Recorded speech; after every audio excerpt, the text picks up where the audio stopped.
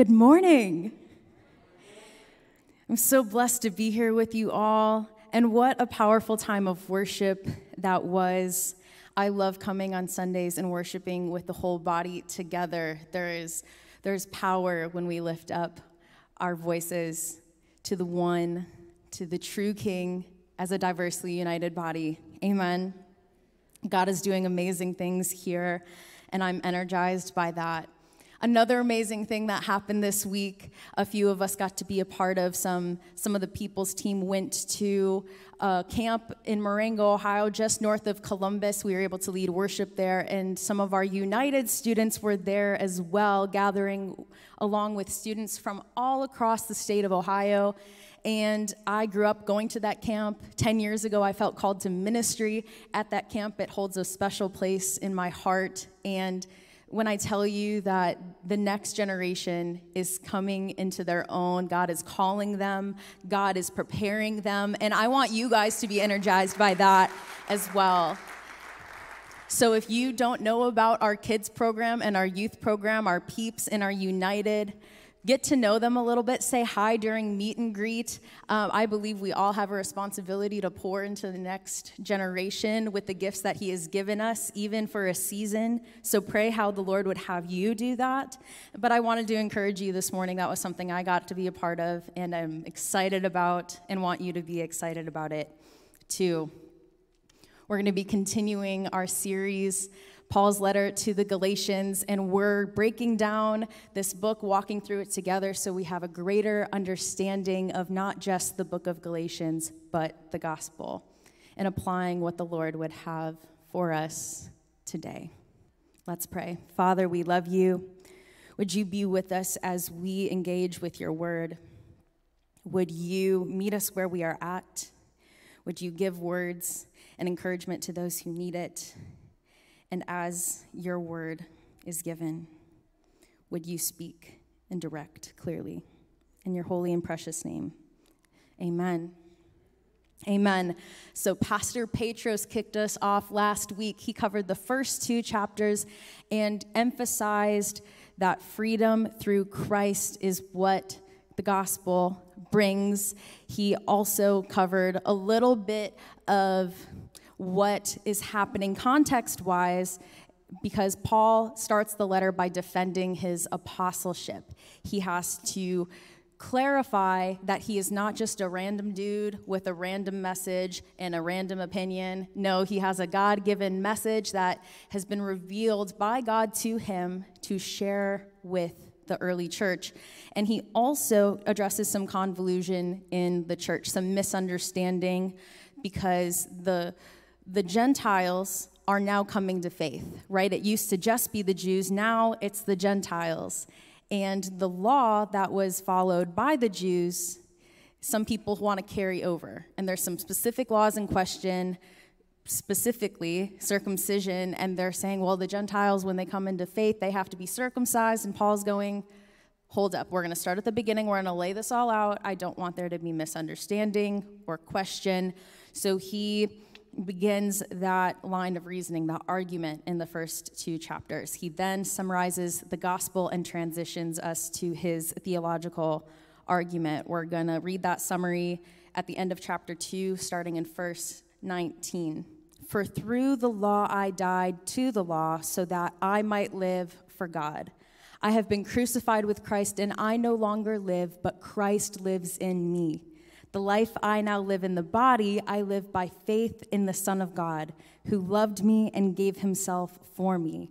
I do not set aside the grace of God, for if righteousness could be gained through the law, Christ died for nothing. Put simply, Christ died so we could live by grace through faith. Christ died so that we didn't have to live by the law established in the Old Testament, the Old Covenant. If the law was still relevant, then Christ died for nothing. Which brings us to chapter 3. Here, Paul begins his theological reasoning, laying out how it is possible for righteousness to be achieved apart from the law. He wants to leave no room for question or misunderstanding. This is why he starts at the beginning and something familiar to them. He goes to scriptures that they would already know. Which brings us to our first point the promise given to Abraham. That promise is this that all nations would be blessed through him. We are going to be jumping into Galatians 3, chapter 6. I'll give you a second to give there, and that is where we will start the promise given to Abraham all nations will be blessed through him. Here we go, chapter 3, verse 6. So Abraham believed God, and it was credited to him as righteousness. Understand then that those who have faith are children of Abraham. Scripture foresaw that God would justify the Gentiles by faith and announced the gospel in advance to Abraham. All nations will be blessed through you. So those who rely on faith are blessed along with Abraham, the man of faith. The first thing that we can pull out of this passage is just quoting that first verse, verse 6, that Abraham was deemed righteous by his faith. Something important to note along with this point is that the law was established after Abraham, right? So Paul is quoting Genesis 15 here, and the law we see come into play in Exodus with Moses. So faith was already playing a key role in our walk with God before the law existed. Abraham was deemed righteous by his faith. God would justify the Gentiles by faith and announced it in advance to Abraham that all nations would be blessed through you. Later in the chapter, we see gospel the gospel, what Paul calls and names and identifies as the gospel, being that all nations will be blessed through you. Also, faith in Jesus Christ. Right here, he's quoting Genesis 22, again, making sure that there's no room for misunderstanding because they have the scriptures. They know Genesis, they know Exodus, they know that this is the promise that was given to Abraham. So he makes sure that he is, he is citing his sources he's writing a paper and he's putting those footnotes in there. Well, he's, he's writing a letter. But you have all written a paper, yeah? You ought to cite your sources. It's the most annoying part of a paper. But Paul does it, he does the work for us, and we're so glad that he did. This also demonstrates the significance of grace through faith, because if the covenant and promise was given to Abraham, and he was deemed righteousness by his faith, and then that covenant and that promise being that all nations would be blessed through you, that means that if the Gentiles are included in this, that the family of God just got a little bit bigger. If we have grace from God because we have faith in Him, then we are a part of that family. And it's not just the Jews. He said all nations would be blessed through you. So the family of God didn't just get a little bigger, it got a heck of a lot bigger. got a whole heck of a lot bigger. And we we are recipients of that. You, the person sitting next to you, everyone in this room watching online, we get to be included in that. So, if we are made righteous by faith, even Abraham before the law, then what was the purpose of the law?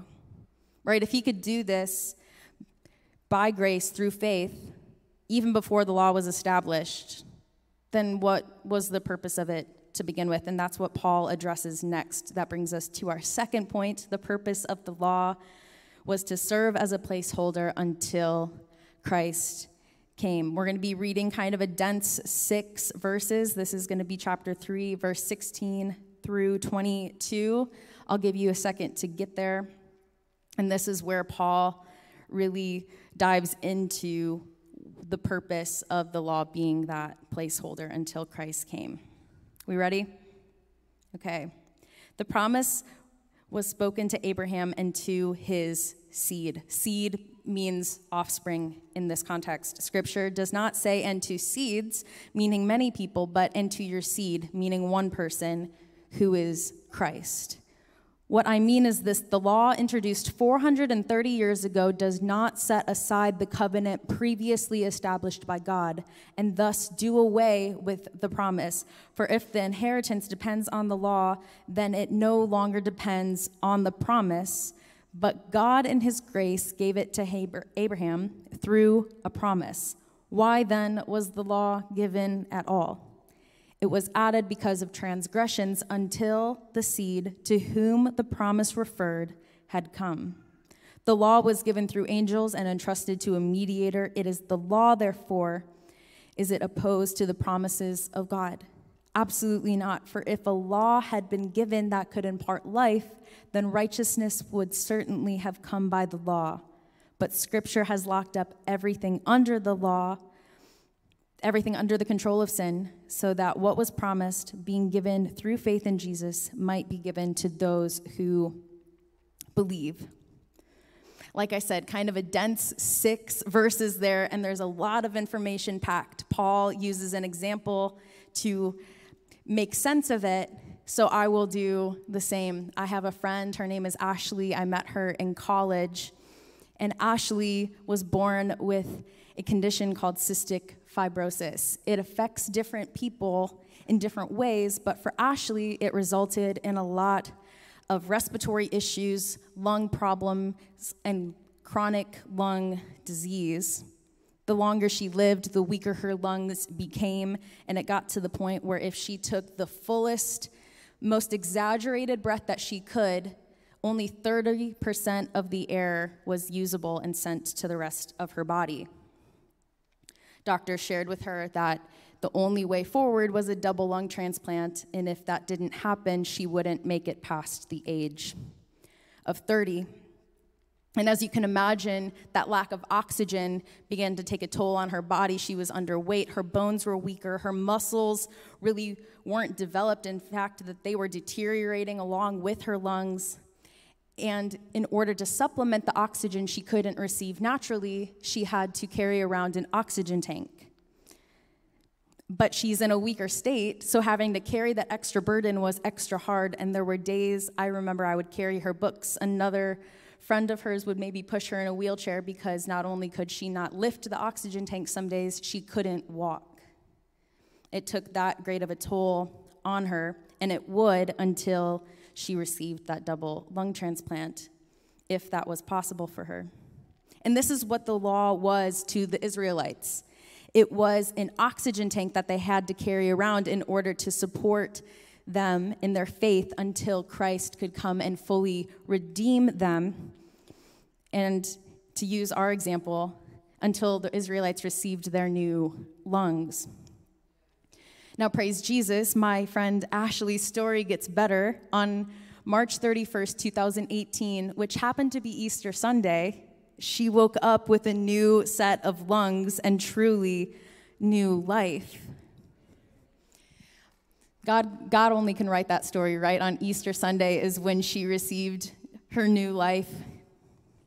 I love that for her. Now that she has her new lungs, would it make sense for her once she got out of the hospital, got in the car, went home, just because she's used to it, to carry around that oxygen tank. You know, she's used to it. We still need oxygen, right? So why not use the oxygen tank still? No, it doesn't make sense because her body has new strength and was given new lungs to take full breath. It is fully functioning. And for her, it wouldn't make sense to carry around that oxygen tank anymore because she has new breath. So when Christ came, and fulfilled the law on our behalf, there is no need for the law because we have new life in him. He gave the Israelites new life, new lungs, new breath in our spiritual walk with him. And now we can know him by grace through faith. And there is no need for the law. The law no longer plays a key role in God's salvation plan. It had its purpose to act as a temporary solution to get us to the new covenant. And with the new covenant comes a new standard of living. That new standard of living is freedom by putting on Christ. And like we already talked about at the beginning of Galatians, all can receive this gift of salvation and can be made righteous by their faith in Jesus. Verse 13, we're still in chapter 3. Christ redeemed us from the curse of the law by becoming a curse for us. For it is written, Cursed is everyone who is hung on a pole. This foreshadows Christ would come and take the burden of sin on the cross. We're in verse 14. He redeemed us in order that the blessing given to Abraham might come to the Gentiles through Jesus Christ, so that by faith we might receive the promise of the Spirit. It's a full circle moment. The promise given to Abraham was that all nations would be blessed through him, Jews and Gentiles alike, that Christ would come and redeem us, that we might receive the promise through faith and are in no longer need of the law. The promise came through freedom and not bondage. We're in chapter 4. We're going to jump down to verse 21.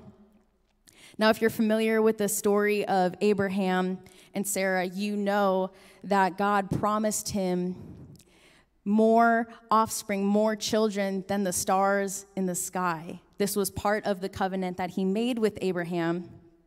And this is what Paul is talking about um, here in chapter 4, verse 21.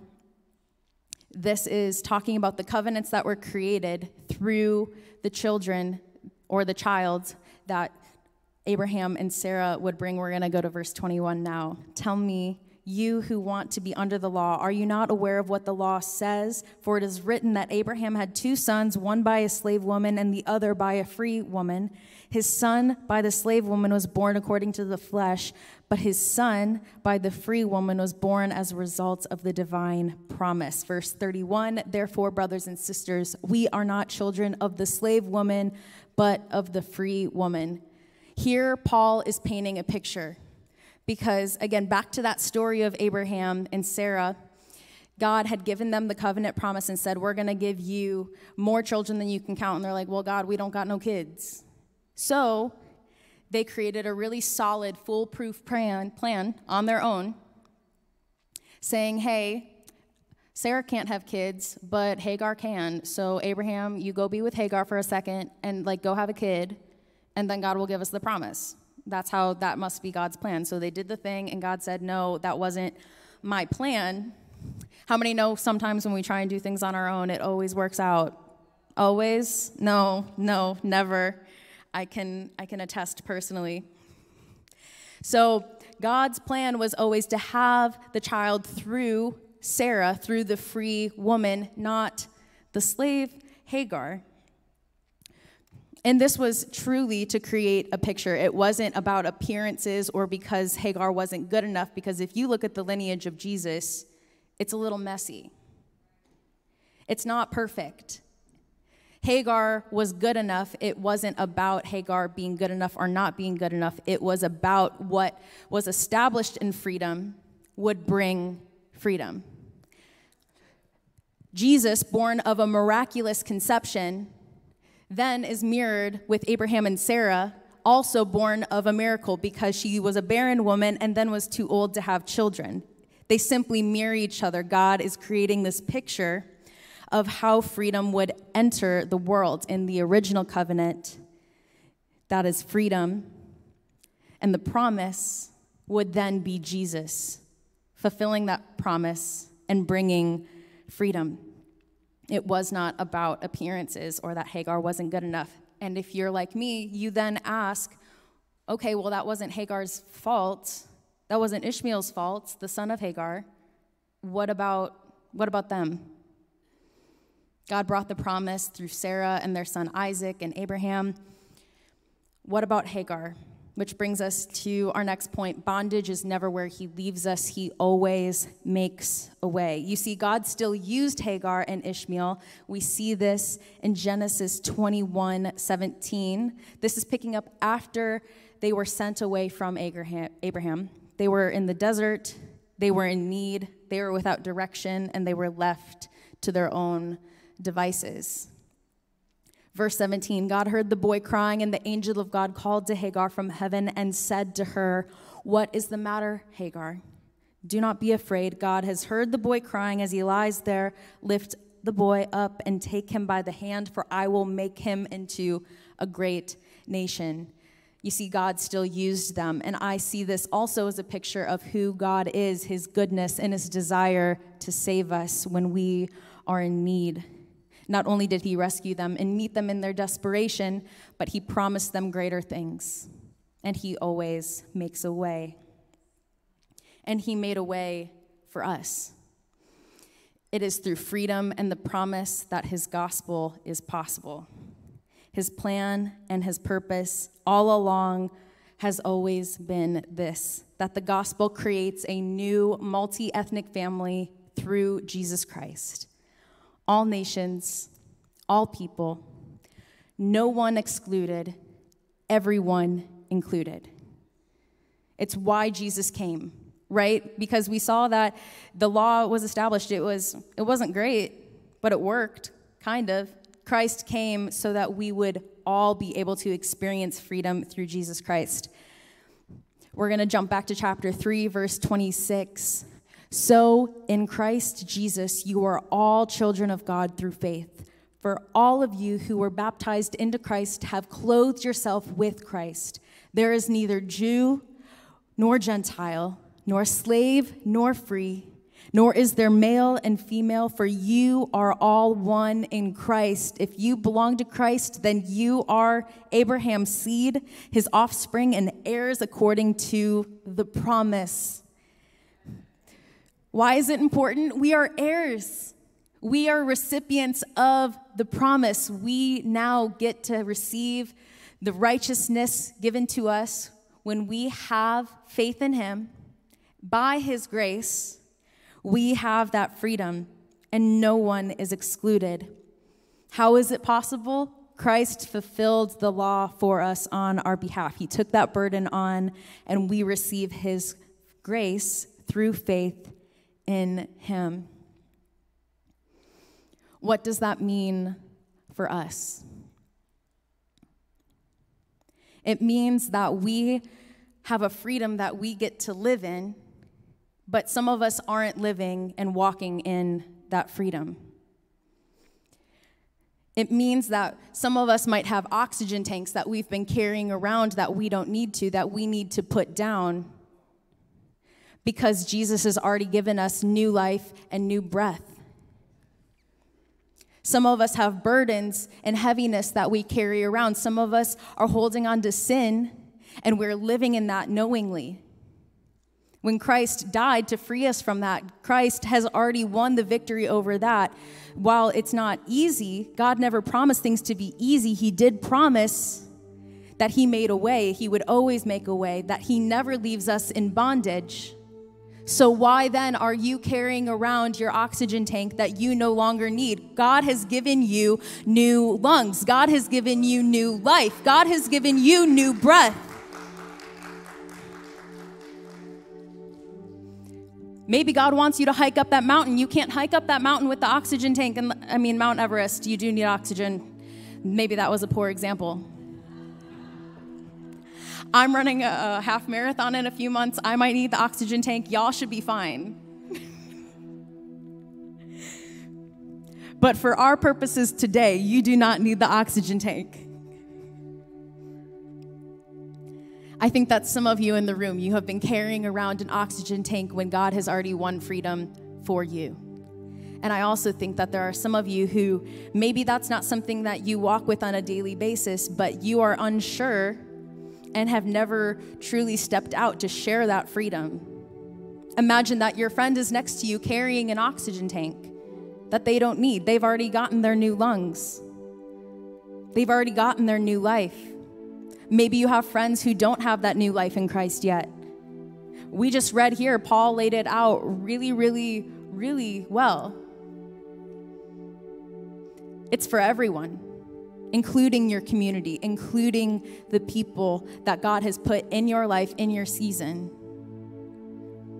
So maybe it's time that we step out in faith and share that freedom with those around us. Paul doesn't just walk through this here, he walks through it in Romans 16. Now, to him who is able to establish you in accordance with my gospel, the message I proclaim about Jesus Christ, in keeping with my revelation of the hidden mystery for long ages past, but now revealed and made known through the prophetic writings, so that all Gentiles might come to the obedience that come from a faith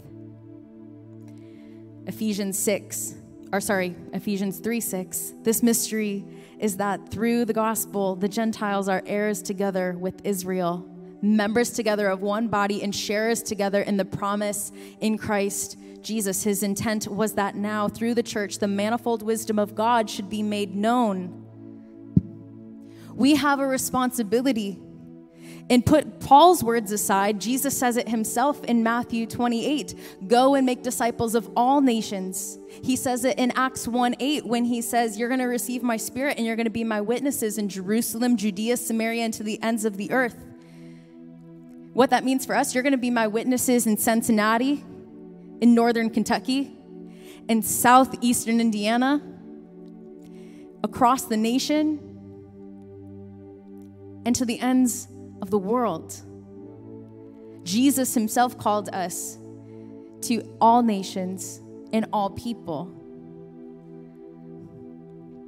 And I don't think he would have done that if the gospel wasn't meant for everybody. We saw it established with the new covenant when God promised Abraham to bless all nations through him. We are recipients of that. And not only do we have a responsibility to walk in that freedom, we have a responsibility to share that freedom with others. Let's pray. Father, we give you all glory and honor. We thank you for the freedom that you have given us to walk in. Lord, would we have the courage to walk in it? Would He have the courage to share it with one another? And as the church worldwide, would we have a greater understanding as we as we lean into your word that this gospel is for everyone, every nation, every tongue, a diversely united body, that your kingdom would be made known, that Christ may be revealed greater and greater. Lord, would you give us clarity as we do this together? Would you give us the courage to walk in your freedom? In Jesus' name, amen.